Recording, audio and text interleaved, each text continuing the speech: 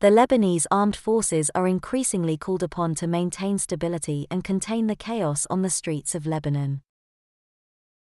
At the same time, the LAF is facing ever greater budgetary pressure due to the deterioration of Lebanon's economy and the devaluation of the lira.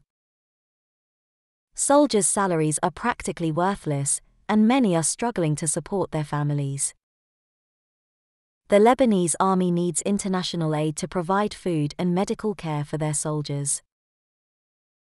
Most of Lebanon's problems are related to deep rooted corruption, political inaction, and waste.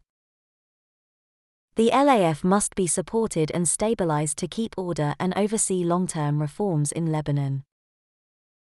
However, the army must adapt some austerity measures of its own, in order to succeed. One example, cited by the Washington Institute for Near East Policy, points out that Lebanon, with an 80,000 strong force, currently has over 400 general officers. Compare that to the U.S. Army, which only has 295 general officers, among 500,000 active soldiers. When the Lebanese generals retire, they receive a six figure pension payout, a monthly stipend, a car, a driver, and free gas for the rest of their lives.